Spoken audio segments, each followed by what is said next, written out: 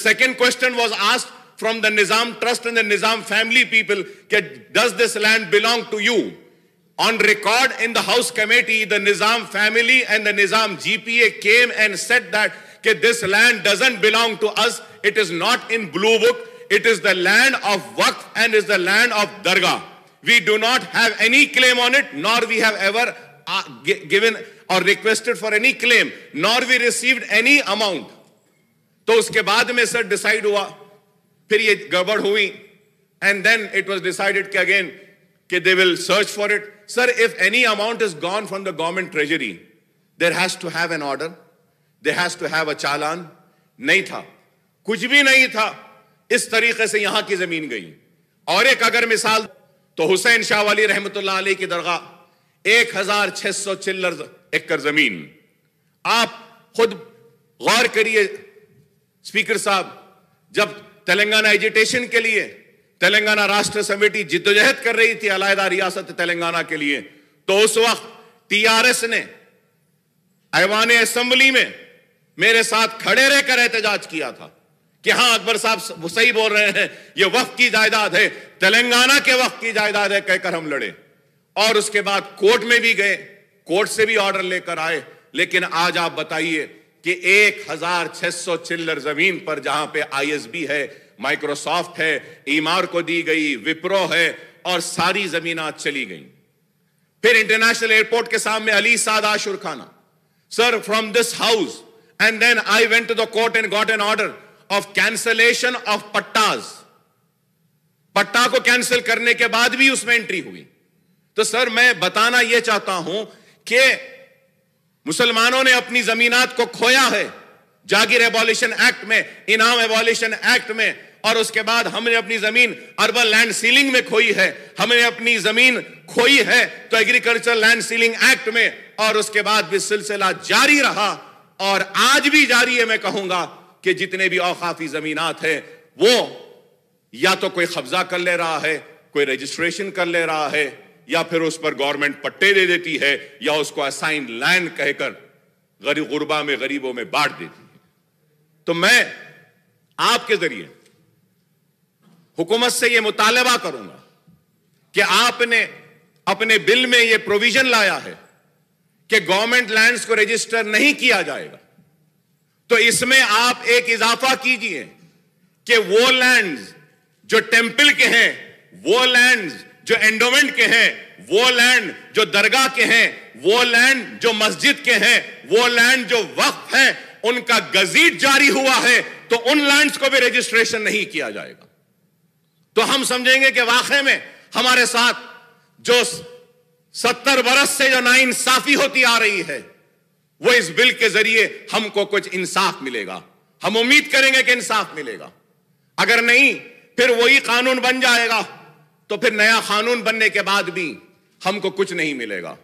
तो ये बात मैं इसलिए कह रहा हूँ कि 77,000 seven thousand acres of land has been identified in first survey and the entire extent of land has been reconciled with revenue department after reconciliation of the revenue record gazette was issued in spite of gazette being there alive not being challenged for the last 50 years, 30 years, 20 years.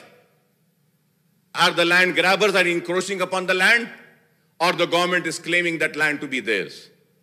So it is a very sad state of affairs, sir. I am taking this opportunity and speaking on the subject by welcoming the decision of bringing in this new law, which I would be supporting, my party would be supporting.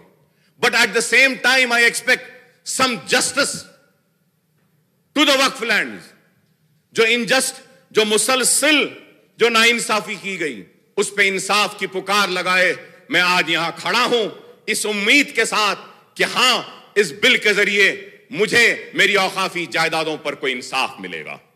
Sir in your constituency sir in your district in Nalgonda sir बड़े पहाड़ दरगाह इस देर yes sir तो वो वो साहब उस दरगाह के 500 एकड़ है साहब वक्फ लैंड आज फॉरेस्ट डिपार्टमेंट के पास है।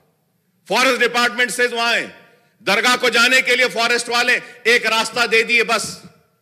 तो you can just imagine sir कि फॉरेस्ट के लोग क्लेम करते हैं, ये हमारी ज़मीन है। एक जमाने में एपीआईसी थी। एपीआईसी ने ये पूरे जमीनात पूरे दिए थे। ये गच्छी बोली मनीकोंडा जागीर है ये। ये मनीकोंडा जागीर किसकी? दरगाह हज़रत हुसैन शाह वाली रहमतुल्लाह की। चंगी चरला में, सर।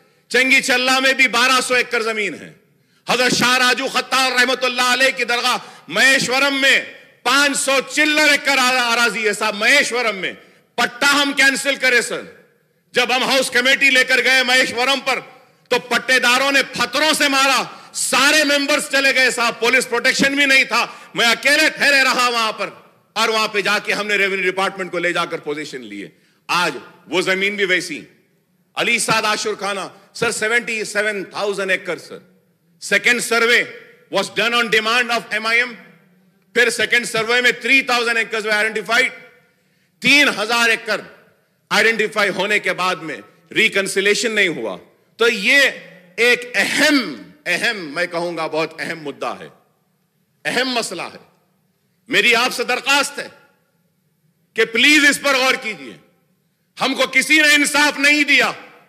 बड़े ही दर्द के साथ, कर्ब के साथ, तकलीफ़ के साथ, अफसोस के साथ बयान करता हूँ कि मैं लुटते रहा लुटते रहा, लेकिन वक्त के हुक्मरानों ने मुझको लूटा ही नहीं, बल्कि मुझे तबाह बर्बाद किया और कभी भी मेरे साथ इंसाफ नहीं किया। लेकिन आज मैं यहाँ खड़े होकर उम्मीद करता हूँ तो करता हूँ, सेक्युलर जहन रखने वाला चीफ मिनिस्टर, मुसलमानों से हमदर्दी रखने वाला चीफ मिनिस्टर ज़रूर हमारे साथ इंसाफ करेगा और औकाफी जायदादों का नाम सिर्फ़ तहफुज करेगा, बल्कि उन जायदादों को वक्फ बोर्ड के हवाले करेगा।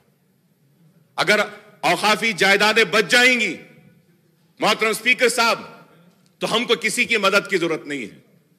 मुसलमान खुद अपने पैरों पे खड़े हो सकता है।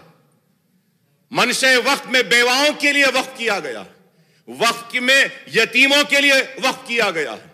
वक्त किया गया है तालीम के लिए। वक्त किया गया है कई मकासद के लिए मनशा वक्त है, लेकिन आज नहीं हो रहा। मैं उम्मीद करता हूँ कि चीफ मिनिस्टर साहब ज़रूर संजीदगी से गौर करेंगे। जब मैं आज खड़े होकर जब औकाफ की बात करता हूँ तो साथ ही साथ स्पीकर साहब, मैं आपके ज़रिए एक बात चीफ मिनिस्टर साहब के इल्म में लाना चाहता हूँ। जो बहुत ही नाजुक मसला है, इसके ऊपर भी फैसला लेना ज़रूरी है।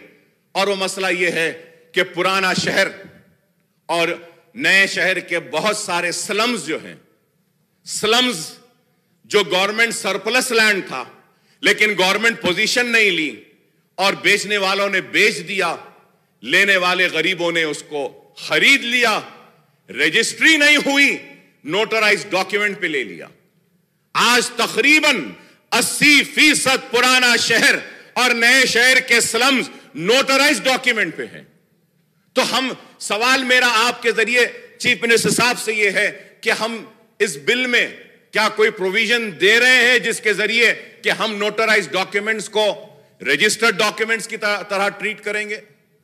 अगर आप निकाय के साइट पे आ जाएगा government land will not be registered sir this is that might be a government land ten years fifteen years back now there that land is not open that not is encroachment free that land has been encroached and I would say not by the land grabber sir that land has been encroached and bought by giving their life, earn saving monies by the poorest of the poor people. वो गरीब कहाँ जाएँगे sir?